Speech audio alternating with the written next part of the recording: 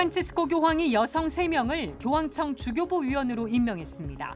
이에 따라 앞으로 주교가 임명되는 과정에 여성이 참여하게 됩니다. 오늘부터 교구별 신호드 보고서를 살펴보는 기획 보도를 마련했습니다. 오늘은 첫 순서로 서울대 교구의 신호드 보고서를 살펴봅니다. 경동제약이 재단법인 바보의 나눔에 올해도 6억 원을 기부했습니다. 13년째 기부를 이어온 이유를 들어봤습니다.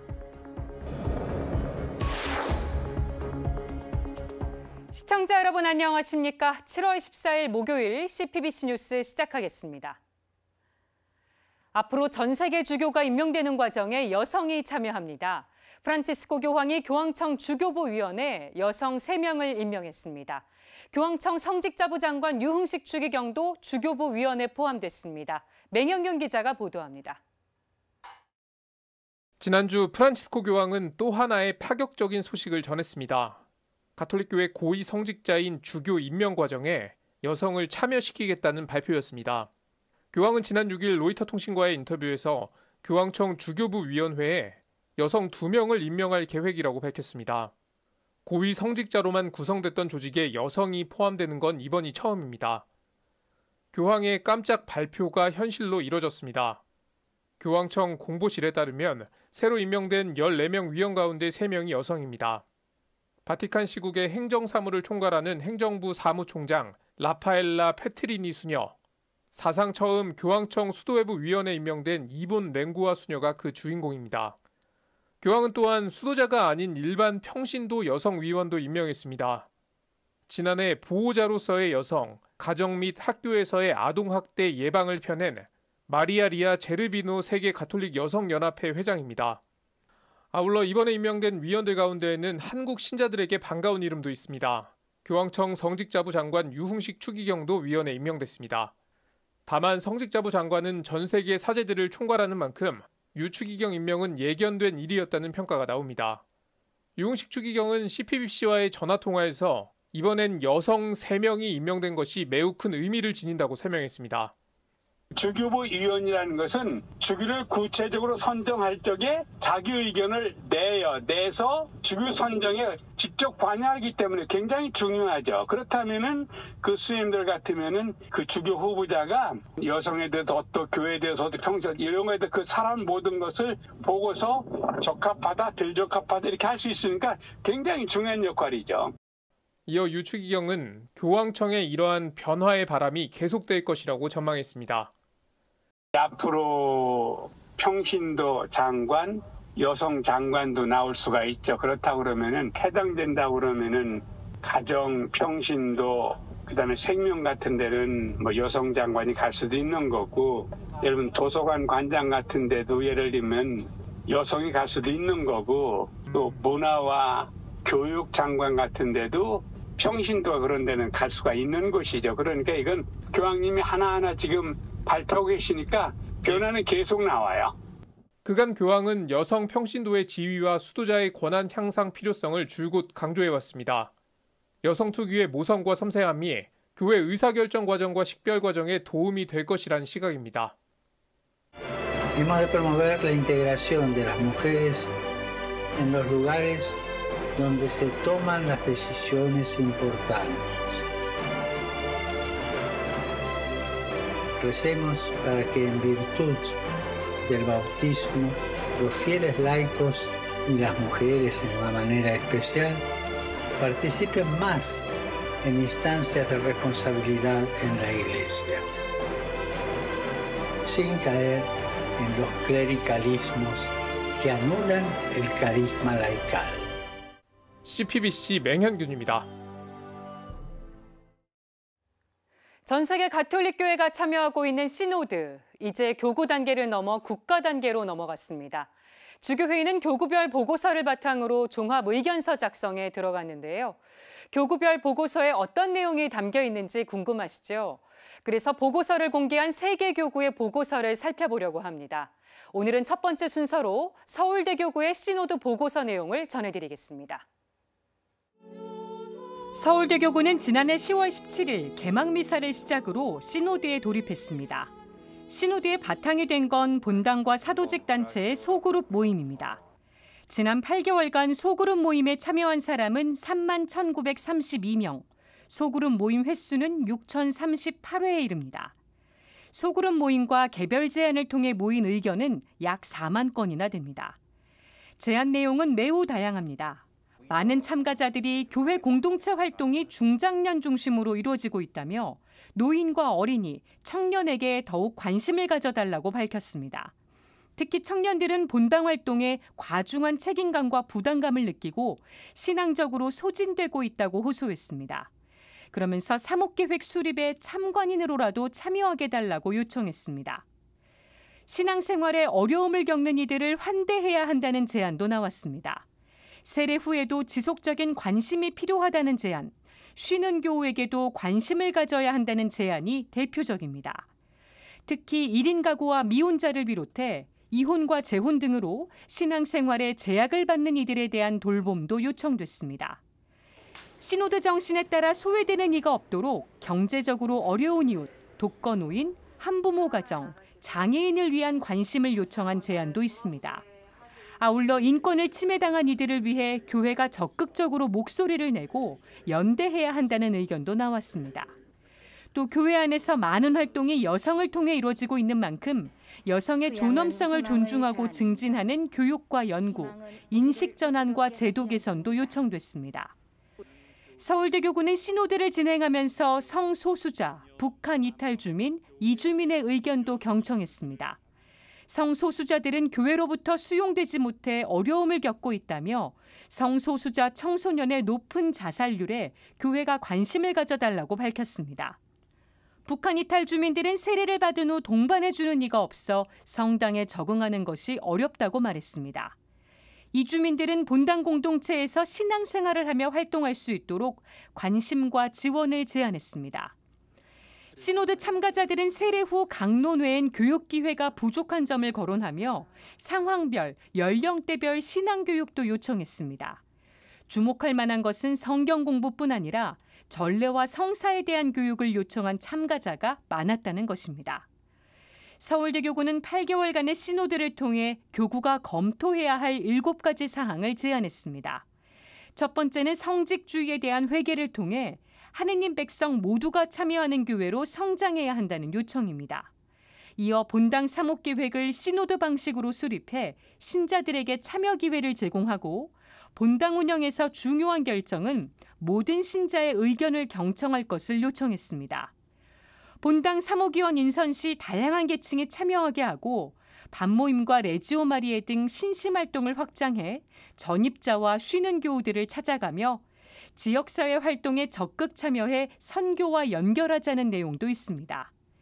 서울대교구는 보고서 결론에서 교구 단계 신호드는 한마디로 경청의 여정이었다고 밝혔습니다. 그러면서 신호드 제안을 복음의 기준으로 식별해 성령의 이끄심에 따라 신호달리타스를 실현하는 교회가 될 것을 다짐했습니다. 앞으로도 계속 하느님 백성 모두가 주인공으로 주님 안에서 친교를 나누고 또 주, 모두가 주인공으로 교회 삶에 참여하는 가운데 서로 경청하고 나누고 함께 성령의 목소리에 귀 기울여 가는 그러한 여정을 걸어갈 것입니다. 서울대교구의 신호도 종합문서는 모든 신자들이 볼 수 있도록 신호도 홈페이지에 공개되어 있습니다. 지금까지 앵커 리포트였습니다.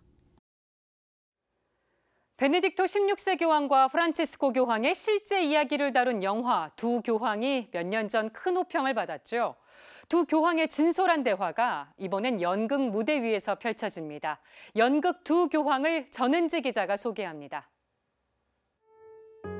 가톨릭 교회를 흔드는 스캔들이 잇따르고 베네딕토 16세 교황은 사임을 결정합니다. 나는 이만 교황의 자리에서 물러나겠소. 교황은 사임할 수 있는 자리가 아니오. 교황의 사임 결정으로 유례없는 혼란을 맞이한 가톨릭 교회. 베네딕토 16세 교황은 후임 교황이 될 베르골리오 추기경과 함께 이야기 나눕니다. 보수파를 대표하는 베네딕토 16세 교황과 개혁파를 대표하는 프란치스코 교황은 성격도 가치관도 모두 다르지만 신념과 영성 아래 교회의 미래를 고민합니다. 2017년 희곡을 시작으로 소설과 영화로 옮겨졌던 작품 두교왕. 작품성을 인정받은 두교왕이 세계 최초로 라이선스를 받고 국내 연극 무대에 오릅니다. 연극 두교왕은 인물의 대화 중간중간 깊이감 있는 음악을 넣어 극의 몰입도를 높였습니다. 신구와 서인석, 서상원, 남명열 등 원로 배우들의 카리스마 넘치는 연기도 볼거리입니다.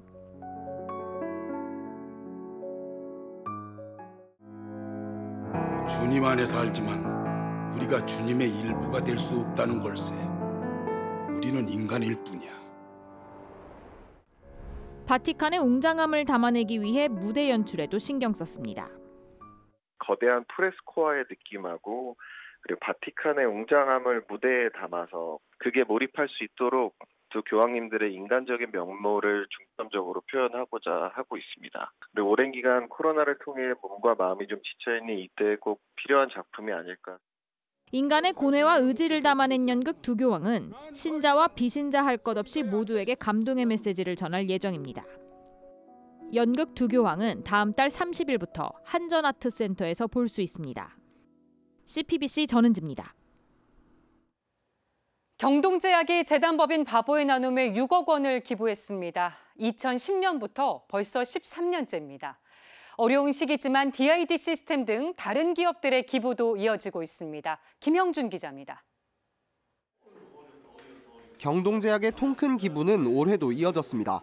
경동제약 류기성 김경훈 각자 대표는 어제 서울대 교구청을 찾아 재단법인 바보의 나눔의 기부금 6억 원을 전달했습니다.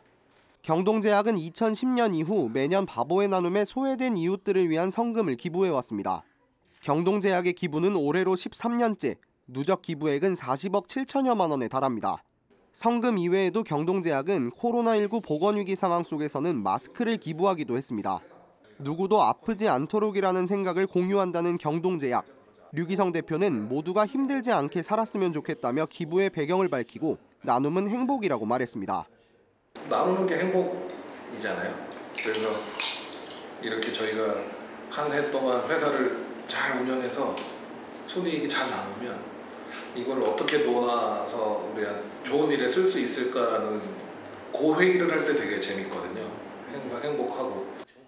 바보의 나눔 이사장 손희송 주교는 류기성 대표 등 경동제약 관계자들에게 감사를 표하고 어려운 시기에 기부를 이어가는 참된 도움의 의미를 강조했습니다. 남는 것이 아니라 정말 자기 것 빠듯 내 나한테도 빠듯한 걸 도와주는 게 진짜 도와주는 거다. 나에게 필요한 걸 넣어주는 게 도와주는 거다. 그래서 그런 차원에서 그런 생각이 들고. 그간 전달된 경동제약의 성금은 서울 가톨릭 사회복지회와 요셉 의원, 가톨릭 레드리본 등에 전달돼 에이즈 환자를 비롯해 사회복지단체, 여성가장 긴급지원 등에 사용됐습니다. 올해 기부금도 사회적 약자를 돕는 단체와 바보의 나눔이 진행하는 자립준비 청년 지원 캠페인에 쓰일 예정입니다. 한편 앞서 지난 11일에는 방제 전문 기업 DID 시스템이 도움의 손길을 보내왔습니다. DID 시스템 박헌 대표이사와 오영임 대표이사는 바보의 나눔의 성금 500만 원을 개척했습니다. DID 시스템의 기금도 전액 바보의 나눔 공모 배분 사업을 통해 소외되고 어려운 이웃들을 위해 쓰이게 됩니다. 코로나 팬데믹과 경기 침체로 모두가 어려운 시기에 전해진 기업들의 선한 영향력은 세상을 더욱 밝게 빛내고 있습니다. CPBC 김형준입니다. 주교회의 교회일치와 종교 간 대화위원장 김희중 대주교가 최근 발간된 천주교 신자를 위한 일치운동 길잡이 그리스도인 일치의 여정과 관련해 기자회견을 가졌습니다. 김 대주교는 그리스도인 일치는 의무이자 사명이라고 강조했습니다. 김희중 대주교는 오늘 기자회견에서 우리끼리 일치하지 못하면서 다른 종교인과 다른 사람들에게 일치하라고 하는 것은 설득력이 없다고 지적했습니다. 따라서 일치는 선택이 아니라 사명이자 의무라고 말했습니다. 김대주교는 한부모를 둔 자녀들이 흩어져 살며 서로 반목하고 대립하며 산다면 그 부모의 심정은 어떻겠느냐고 반문했습니다. 그러면서 한 아버지, 한 어머니의 자녀로서 일치해야 하는 것은 당연하고 꼭 해야 하는 일이라고 역설했습니다. 그리스도인 일체 여정 발간 배경에 대해서는 비본질적인 차이점에 함몰돼 일치를 위한 큰 그림을 못 보는 것은 아닌지 또 신앙의 공통 유산을 외면하지 않았는지 반성해 보자는 것이라고 설명했습니다. 김대주 교는 그리스도인 일체 여정은 가톨릭 신자들을 위한 교제라며 많은 사람들에게 읽혀서 필요 이상의 오해를 불식시킬 기회가 되길 바란다고 희망했습니다. 헌법재판소가 사형제의 위헌 여부를 판단하기 위해 오늘 오후 공개 변론을 열었습니다. 이에 앞서 7대 종단 지도자들은 오늘 사형제 폐지를 촉구하는 공동 의견서를 헌법재판소에 제출했습니다. 범죄를 저질렀다면 반드시 처벌을 받아야 합니다. 하지만 생명을 빼앗는 방식은 안 됩니다. 13년 만에 다시 심판대에 오른 사형제, 헌법재판소의 현명한 결정을 기대합니다. 이상으로 CPBC 뉴스를 마칩니다. 시청해주신 여러분 고맙습니다.